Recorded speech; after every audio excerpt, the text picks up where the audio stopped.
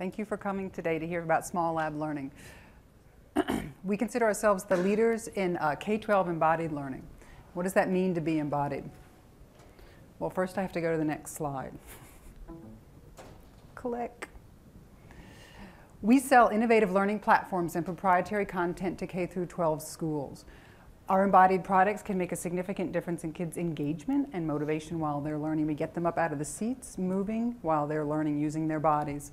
We're the first to market with educational motion capture products that leverage existing classroom technologies like interactive whiteboards. There are millions of those out. Teachers are constantly clamoring for more content. When computers and Wi-Fi first became ubiquitous at school, there was this expectation that they would change everything. I well, I felt that. I've been around a long time in ed tech. And that really wasn't the case. So here's a 1990s classroom, and here's today's mediated classroom, mediated by a technology. And we still see that our graduation rates are not increasing. So there's something that's not working right. Just putting a computer in front of a kid is not solving it. So maybe really what the problem is is not about giving tech to kids, although I think that's very important. Maybe what matters is the quality of the content and how it's being delivered. So these two pieces. We're a content provider that creates generative and active K through 12 learning scenarios using transformative technologies. we co-design everything following three pedagogical principles. Okay, the first one is that everything be embodied, that it's kinesthetic, that the kids get up and use gesture in a way that's congruent to the content that they're learning. We make it immersive, so they really feel like they're part of the lesson, and that can be a vertical uh, surface that's very large, or we also project onto the floor in a 15 by 15 foot space, so they're inside moving around in the space. we make everything extremely collaborative as well. So all the kids are getting up in the class and either in this large scale platform, moving around in the platform, sitting around the perimeter, shouting out hypotheses, or they're um, watching their peers playing in the Kinect situation. I'll show you what that looks like. So we're installed in about 12 schools now. This is the Quest to Learn school in New York City, very innovative using game design to teach. We have two products that we're selling, and I'm going to focus on the first one called Flow, Fluid Learning on the Wall, and that uses the Microsoft Kinect sensor. The second one is Small Lab, and it uses uh, uh, infrared motion capture cameras. So we would install 12 of those in the ceiling, and you would move around with a rigid body wand. That's how you're being tracked. You become the cursor in this space. But let me talk to you about Flow. So here's a picture of the sensor. It's now $120, so very cost effective.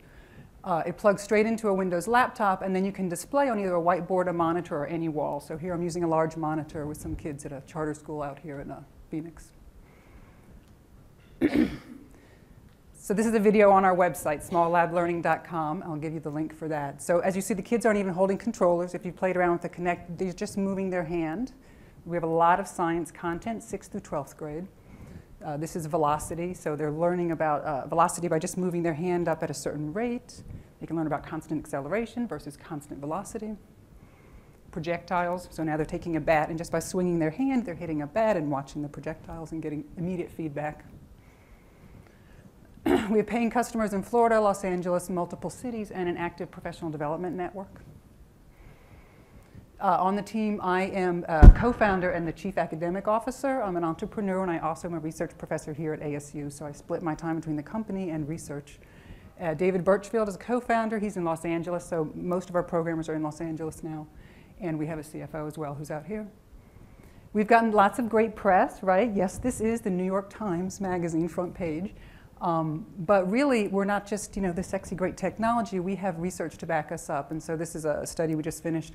I'll just draw your eye. Probably no one cares about this stuff but me, but uh, to a lovely effect size of greater than one standard deviation here.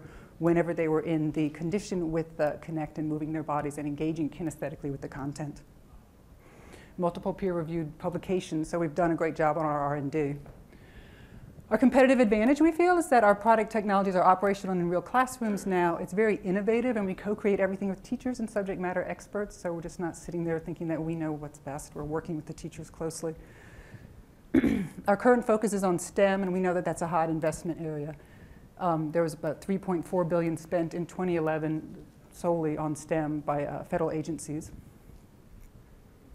We've been funded with 3.5 million to date so far. Um, uh, uh, an NSF grant that I'm currently running at ASU is helping create content, as well as a Gates uh, Wave 2 EDUCAUSE Foundation grant that we just finished up, and uh, several other funds from the MacArthur Foundation.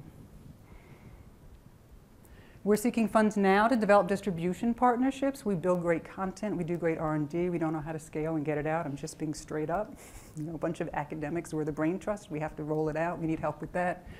We develop marketing and sales channels to innovative high and high tech. Uh, we've had our best luck selling to high tech high schools and charter schools, so we need to open that up. But you know, they're very receptive to what we're doing. They always want to be the first with the hot technology, so they love us.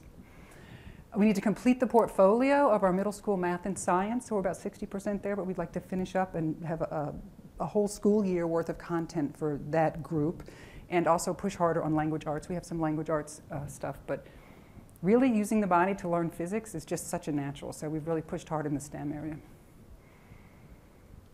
So, oh my God, I, I, can't believe I have a minute left. I, I can answer a question or two, maybe. I, I, spoke really quickly. Thank you for your consideration, and you could either contact myself or David at smalllablearning.com, and um, we would love to also partner with creating content. Yeah.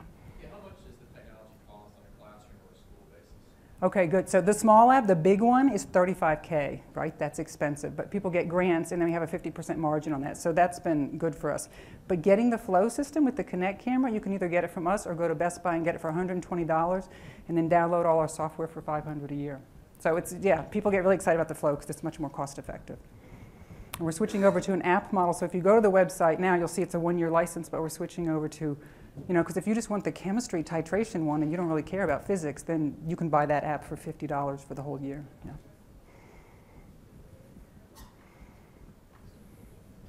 Thank you.